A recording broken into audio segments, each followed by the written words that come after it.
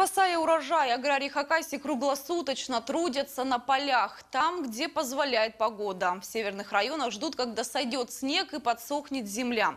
Заодно считают ущерб, нанесенный непогодой. В Минсельхозе рассказали о сложностях уборочной кампании. Глава хозяйства Михаил Бибов сам за рулем комбайна. Около села Красный Катамар он засеял 750 гектаров.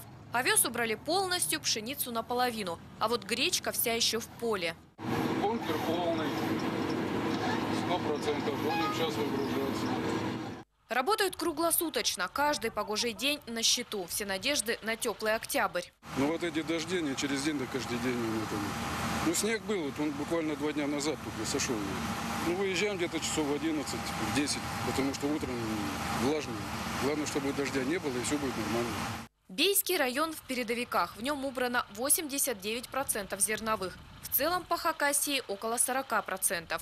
ЧС из-за снега и заморозков объявили в Ширинском, Орджоникидзевском и Багратском районах. В эти выходные там снова шел дождь со снегом. У аграриев есть ГСМ и техника. Проблема – машины, даже кировцы, увязают в грязи и не могут проехать на поля. Зерновые придавлены к земле. Естественно, мы все-таки думаем, что площади эти будут убраны. Если в прошлом году у нас даже под снег попало, но по весне эти площади были убраны. Поэтому мы ввели ЧС, потому что знаем, что вот при данной ситуации, при том, что упала, полегла вот так вот э, зерновые, какая-то часть будет потеря. Страдает и качество. Вместо продовольственного – фуражное зерно. Из-за большой влажности аграрии понесут затраты на сушку. Предварительный ущерб – около 150 миллионов рублей. Пострадавшим фермерам помогут. Комиссия при Минсельхозе Республики на местах оценивает потери, составляет акты, помогает в сборе документов. Прошла встреча в Минсельхозе России. Федеральный центр, естественно, пообещал, есть выделенные деньги э, в Министерстве сельского хозяйства при предоставлении документов, при проверке всех подтверждающих фактов будут выделены, сделан расчет, естественно, на эти потери.